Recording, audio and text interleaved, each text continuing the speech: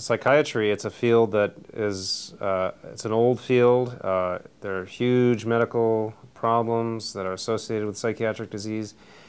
Uh, pressing need and very much in the, in the news, uh, psychiatry being called upon to answer questions that it's not quite ready for. We don't understand the brain nearly as much as we need to in order to specifically treat uh, these disorders. We have treatments that do work, but they're not specific enough, uh, and that's because they're not based on a deep understanding of the brain.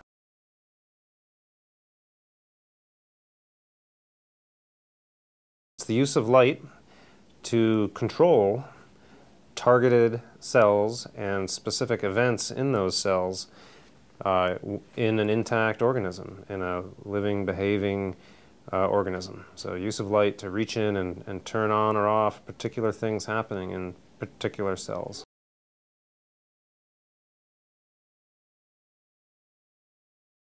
Uh, it certainly was a high-risk experiment, and the way you, you can really know it was a high-risk experiment, people had known about these uh, these genes that these microbial organisms make and use for their own purposes. These are algae and bacteria that make light-activated regulators of electricity, basically. But these are single-celled organisms. And people have known about them for decades and studied them, but nobody had put them into neurons. And it wasn't even a eureka moment either because lots of people had talked about it. Lots of people had talked about putting these genes into neurons to control them. Uh, but it was such a leap to actually do it, uh, to, to actually, because we know that it's, you know, if you, to put something from a microbe into a mammal, that's a big step, a lot can go wrong.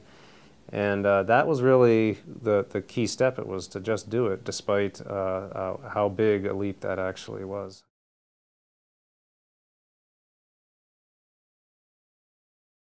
You know, at one level, you could say this is not new. Uh, psychiatrists and, uh, you know, general medicine doctors have been providing medications and treatments to people that change how they uh, think for a very long time. Even talk therapy changes how people think. And so how is that different from the ethical issues of optogenetics? The, the key difference, if there is one, is probably in how specific it is. With optogenetics, you're really getting uh, to the cells and the circuits that are controlling motivation and reward, uh, fear, anxiety, pleasure, memory. And as it gets so specific, you have reduced side effects. There's less that seems self-limiting about it.